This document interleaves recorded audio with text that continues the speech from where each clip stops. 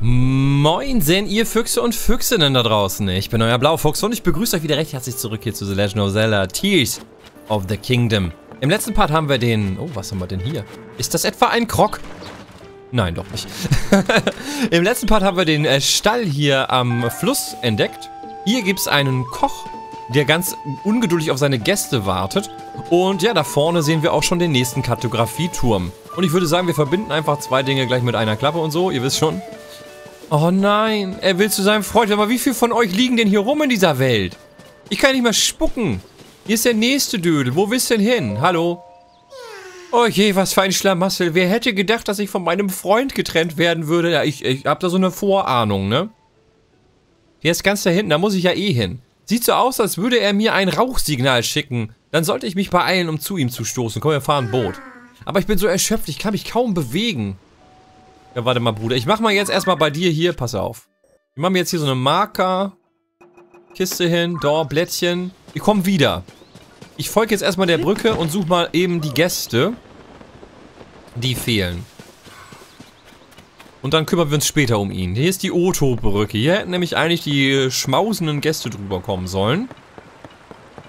Da ist auch der Zwillingsberg. Ah. Langsam kommen wir in heimische Gefilde. Hier kennt man sich gut aus. Wir gehen jetzt erstmal hier zu diesem Kartografieturm und nebenbei schauen wir mal nach Zelten. Ach, hier ist er auch wieder. Moin, hallo. Ich stütze dich. So, was haben wir denn hier so? Mäh, hier gibt es ein paar Hyrule-Tomaten. Tiere sind hier auch ohne Ende und da ist ein dicker Stein. Und ich denke, mit dem Stein wird es schon werden.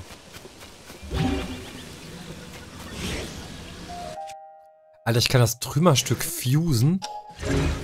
Holy shit. Wir nehmen mal dieses Trümmerstück und ich denke, damit kann ich sein Schild schon irgendwie abstürzen. Das wird schon gehen.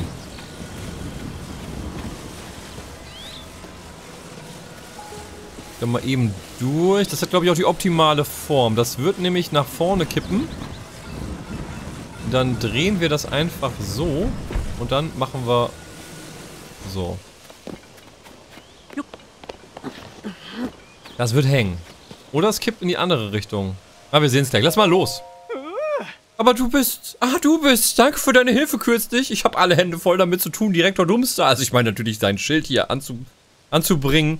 Oh je, aber wer stellt jetzt all die anderen Schilder auf? Was soll ich denn jetzt nur machen? Lass doch einfach mal los, Bruder. Was, du, du bist auch mal stützen? Na gut, Achtung, ich lasse es jetzt los.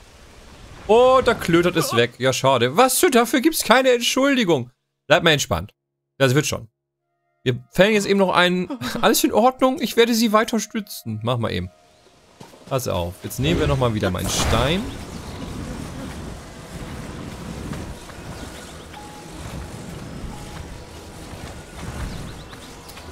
Jetzt von der anderen Seite kommen hier. So, pass auf. Einmal hier von hinten rein.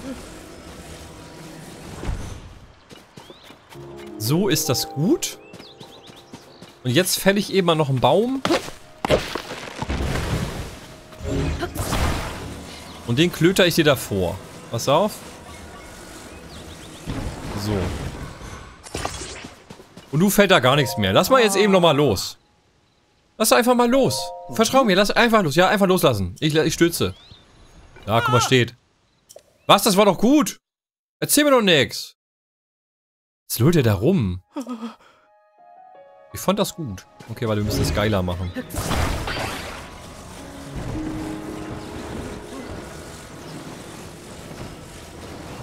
Wir machen das anders.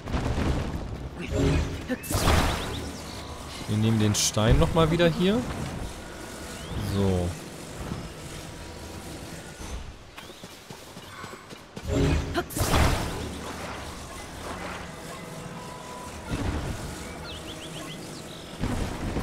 Machen wir so. So.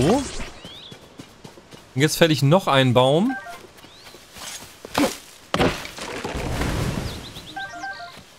Und diesen lötern wir einfach auf der anderen Seite fest. Jetzt kann aber auch nichts mehr passieren.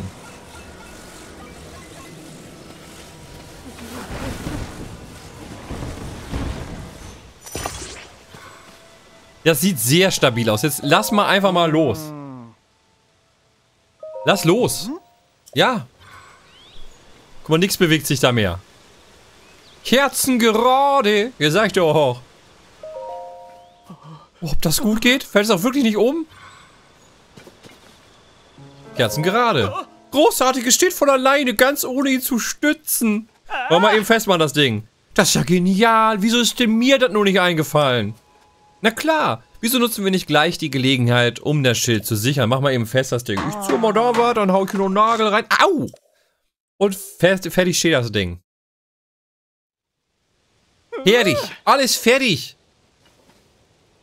Dank deiner Hilfe konnte ich das Schild fest im Boden verankern. Jetzt muss ich es nicht mehr die ganze Zeit stützen. Ein kleines Wunder. Hier als Dankeschön. Roter Rubin. Nur? Außerdem musst du nach all der Arbeit doch ganz hungrig sein. Hier gibt ein leckeres Gericht. Schleichpilzreisbällchen. Ach ja, eigentlich bin ich dir noch zu größerem Dank verpflichtet, deswegen habe ich hier noch was für dich. Das hier stammt aus meiner ganz persönlichen Sammlung, aber du hast es dir verdient. Jollerblümchen, Dankeschön. Jetzt kann ich endlich auch andernorts wieder Schilder aufstellen. Gut, dann äh, bin ich mal weg, ne? Hau rein, bis denn. So, Leute, der ist jetzt auch verarztet. Dann gehen wir mal, das können wir hier lassen, dieses schöne Konstrukt, das steht da gut. Dann gehen wir jetzt mal hier durch, folgen mal dem Weg und schauen, ob wir hier irgendwo Zelte oder sowas finden. Ja, da vorne, ich sehe Zelte. Ich sehe Zelte. Und da hinten schon wieder den nächsten Tempel. Es ist verrückt. Jetzt gehen wir aber erstmal zu den Zelten und gucken, ob wir da die, wie heißt es, die Gäste ausfindig machen können. Was haben wir hier? Das ist ein Frosch. Eine Klammerkröte. Eine Kröte, die sich an Wänden festklammert und dort verharrt. Die Sekrete ihrer Haut ermöglichen es, selbst nasse Oberflächen zu erklimmen. Oh. Das hat man sich wirklich so, nein, so lange gewünscht. Das Spannen meines Bogens hat ihn aufgescheucht. Also noch ein paar Tomaten einsammeln. Schöne Hyrule-Tomaten. Hm. So, oh, mein Magen. Was ist hier denn los bei euch? Notiz auf dem Tisch. Wildreisrezept nach Prinzessin Zelda. Zutaten. Wild, Hyrule-Reis, Steinsalz. Effekt gibt jede Menge Energie. Vorsicht, kein anderes Fleisch als Wild verwenden. Okay. Und was habt ihr gemacht? Ihr seht alle so im Arsch aus. Boah, Hilfe. Brauche Essen. Prinzessin Zeldas Gericht. Oh, wer war das? Wer hat da Monsterfleisch reingetan? Oh, sollte das nicht Wildfleisch sein? Ah. Erste Regel für Feinschmecker, folge immer dem Rezept. Ah, wobei, das stimmt eigentlich nicht. Ich weiche weich auch oft mal ab. Aber man muss es halt sinnvoll machen. Also, wir brauchen Wild, Hyrule, Reis und Steinsalz. Habe ich Hyrule, Reis?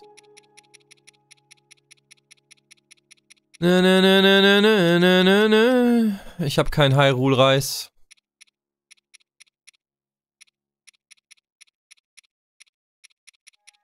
Wild habe ich. Steinsalz habe ich auch, aber Hyrule-Reis habe ich nicht mehr. Gibt's das hier irgendwo in der Nähe? Ich gehe mal eben Hyrule-Reis suchen. Das ist ja nicht so beim Wasser oder so geben, ne?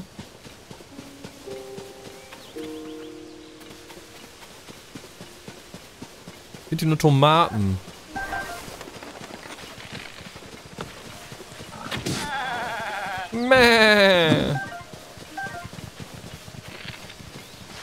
Also normalerweise, ich würde davon ausgehen, ne, wenn die hier dieses Rezept verlangen, dann findet man noch alles, was man benötigt, irgendwie in der Nähe.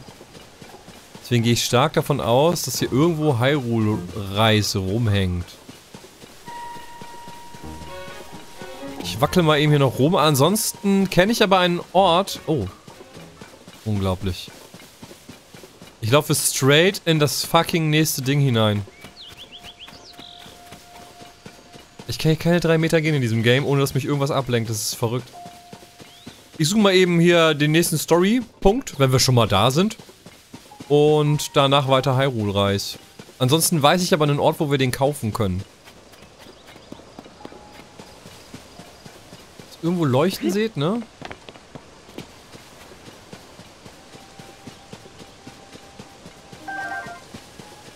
Das ist kein Hyrule-Reis.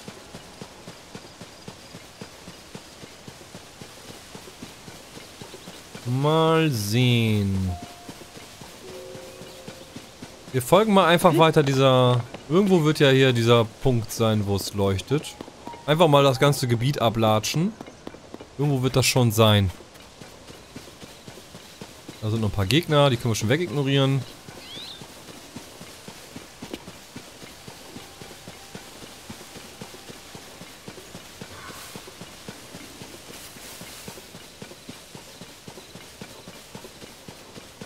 Wo mag der leuchtende Punkt sein? Das ist ein sehr großes Bild.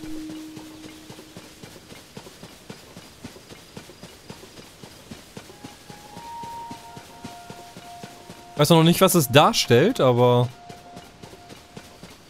Es ist auf jeden Fall groß. Sehr, sehr groß. Wasserfrucht. Diese Frucht enthält unter hohem Druck stehendes Wasser. Als Kochzutat erhöht sie dank ihrer natürlichen Sch äh, Schmiermittel deine Schwimmgeschwindigkeit. Okay, ich schmiere quasi meinen Körper, damit ich dann schneller schwimme. Hallo. Prügel, Prügel, Prügel. Ah, Mist. Ist das denn passiert? Du hast mich einfach mit seiner Brust so angeduldet. Das machst du nicht nochmal, Bruder. Das lassen wir mal schön sein. Ja.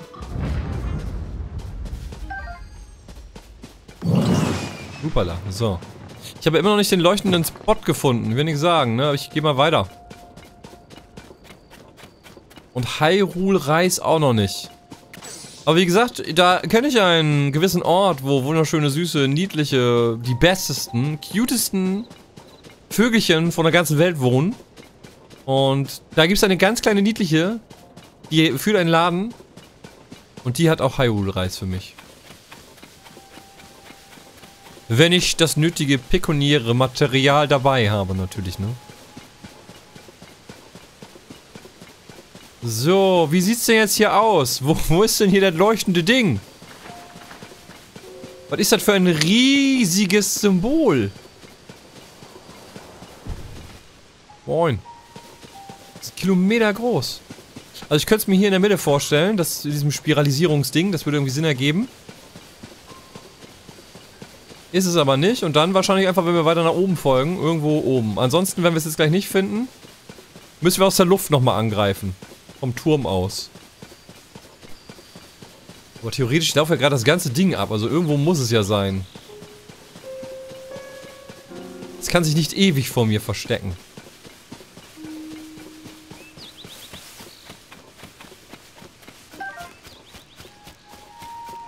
Ja, in der Mitte bestimmt. Hier ist es. Yeah! Ich sag doch, das wird. Man muss einfach nur wollen. Schwing!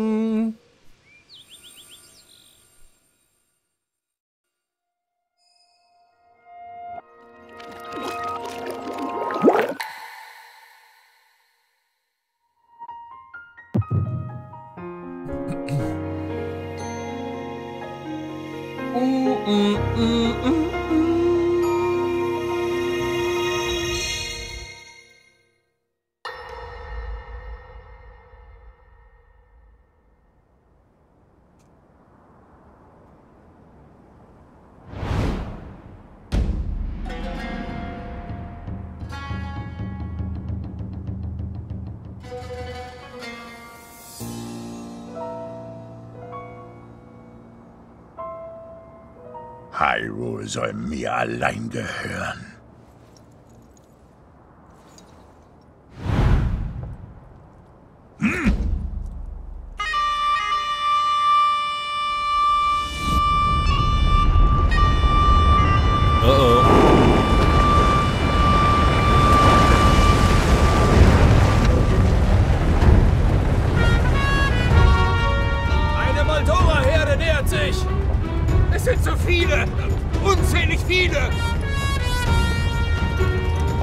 Ist halt einfach handsome, Mann. Rauru. Ohne Scheiß. Moldoras sind Einzelgänger. Was geschieht hier?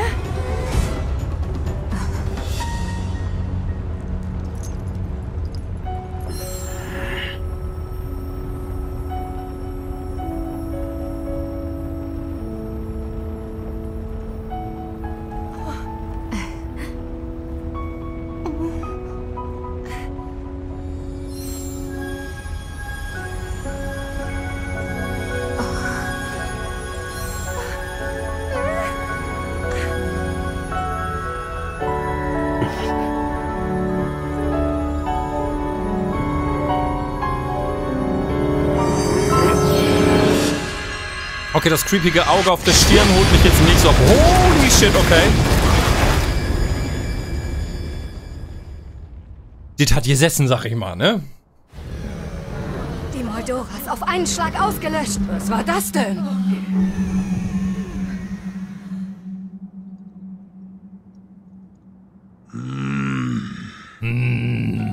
Ein offener Angriff ist also sinnlos.